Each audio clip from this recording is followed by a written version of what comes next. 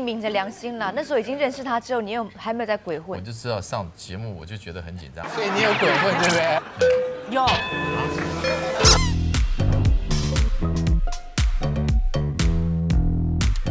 汪家明与于小凡虽然当年从结婚到恋爱都让外界觉得是一对令人称羡的银色夫妻档。虽然汪家明在2009年时有过婚外花边，但当时于小凡竟说日子还是要过。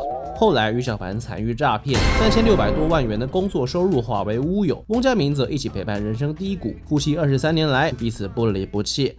你还敢口口声声说你很好？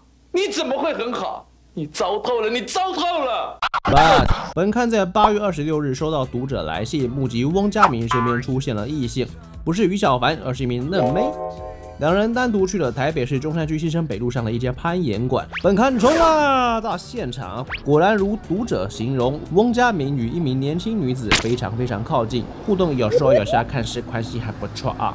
看得出嫩妹俏丽带点可爱。本刊巡线翁家明亲友，说是翁家明代言过一款生计保健产品，该女则是该家公司的千金来着。不过当天翁家明与该名生计千金在馆外短暂寒暄后就各自离开，生计千金搭乘公车前往民生社区，以生计千金来讲很接地气呢。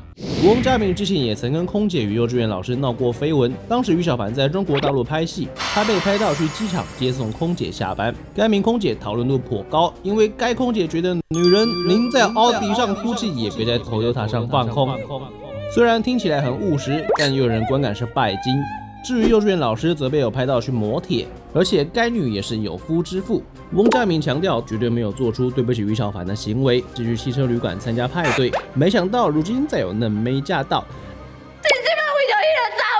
什么节目？哎呀呀呀！翁家明不是说好要禁女色吗？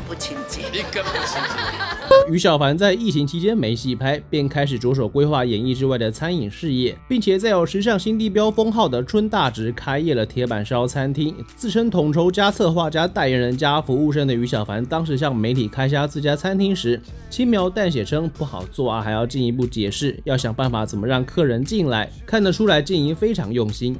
平常于小凡除空闲时去找好友打牌，也有事业要忙。翁家明则是戏约几乎没断过，而且对于户外生活兴趣颇浓厚。比如有经营脸书“翁家明好野人漫游去”啊，翻译翻译就是长青派实力演员分享爬山涉水的漫游日常了啊。这社群的内容满满都是山水旅游啊，这两人一动一静，难怪亲友觉得交集变少了。